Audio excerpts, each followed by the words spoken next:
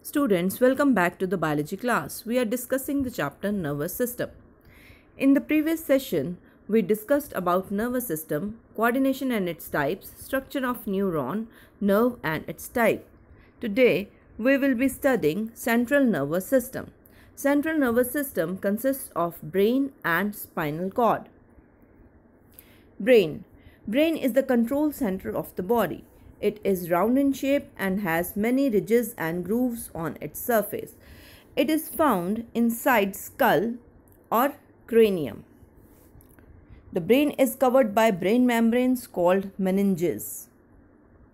Brain membranes have fluid in between them known as cerebrospinal fluid. The brain is made up of three parts cerebrum, cerebellum, and medulla oblongata. The brain is connected with the body through spinal cord. Cerebrum. The cerebrum is the largest and most complex part of the brain.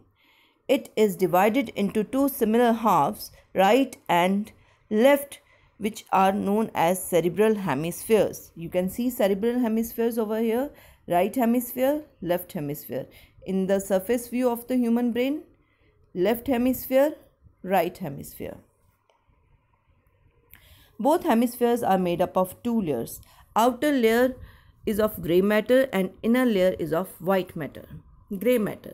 It is the outer layer composed of cell bodies of neuron, whereas white matter, which is the inner layer, it is composed of axons of the neuron, outer gray matter and inner white matter.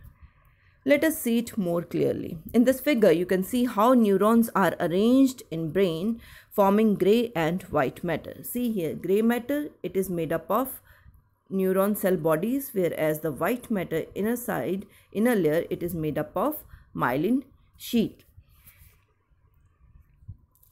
Each cerebral hemisphere has four lobes and they are involved with their specific functions. These lobes are frontal lobe, which is the seat of memory, learning and reasoning. It coordinates speaking also. Parietal lobe. It receives sense of pain, touch and taste. Temporal lobe. This one. It receives sense of smell and hearing, helps us understanding the speech. Occipital lobe. It is a visual area which receive impulses from eye through optic nerve. So cerebrum is the main control center and is the seat of intelligence, willpower and consciousness. It controls various voluntary activities and functions such as memory, thought, language, speech and perception. Cerebellum. Cerebellum is positioned behind and below cerebrum. It is much smaller in size. It is responsible for maintaining balance in the body and coordinating muscles and their activities. It also helps in maintaining the posture of the body. While the decisions are being taken by the cerebrum, it is the responsibility of the cerebellum to ensure that they are implemented. For example, if cerebrum has taken a decision to adjust shoe, it is the cerebellum that direct the muscles of the hand to relax or contract in order to complete the action. Medulla oblongata. This is the lowest part of the brain.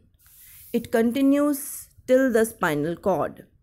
It controls the activity of the internal organs such as it regulates heartbeat and respiration, it regulates blood vessel diameter, also helps in the reflexes like swallowing, vomiting, coughing and sneezing.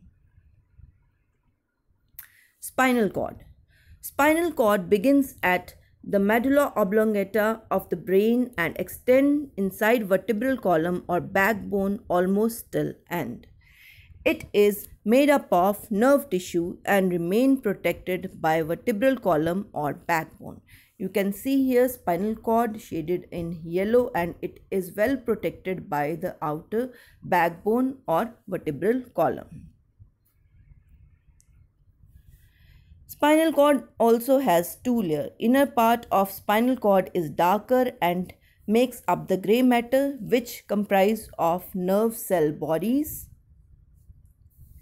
The outer part of spinal cord is lighter and makes up the white matter which comprises of axons or nerve fibers. Students, a point to note here is that positioning of gray matter and white matter is opposite in spinal cord as comparative to brain.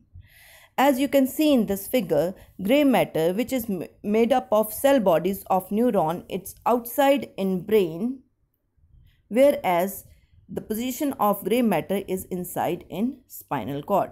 Similarly, the white matter which is made up of axons of nerve fibers, its position is inside in case of the brain whereas in case of spinal cord its position is outside. It is making the outer layer of the spinal cord.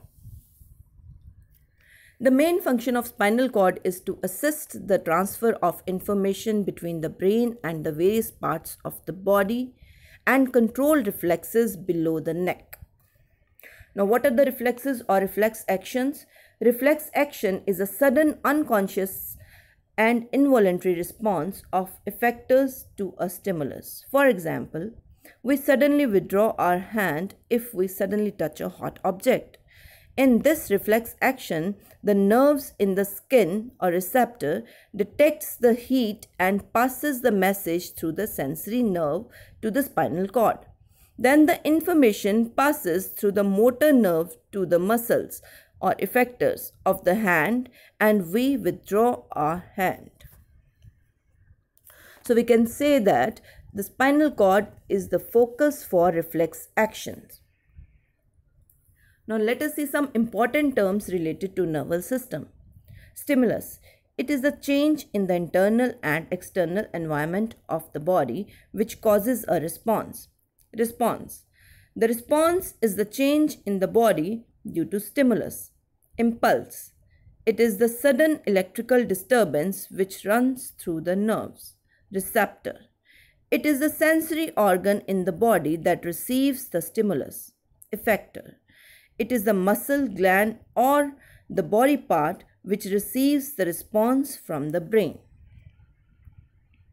So in today's lesson, we discussed about brain and its parts cerebrum, cerebellum and medulla oblongata. We also discussed the structure and function of spinal cord. With this lesson, we conclude our chapter nervous system. I hope you have understood and enjoyed today's lesson. I will also be sending you a worksheet related to this chapter. Till then, stay safe, stay home. Thank you.